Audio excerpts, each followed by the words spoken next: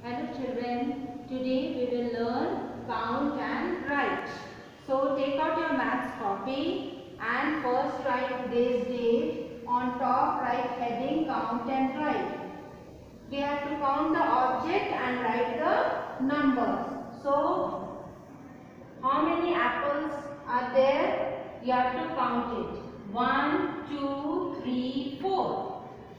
So you will write here 4.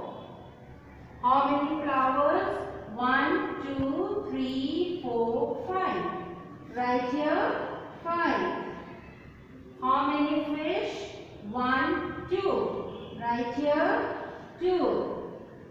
Next is ball. How many balls? One, two, three. Right here three. Next is kite. How many kites? One, two, three, four, five, six. Right here, six. Next is stars. How many stars you can see?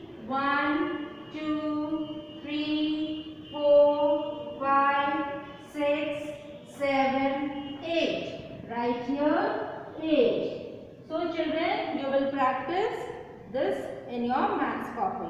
Thank you.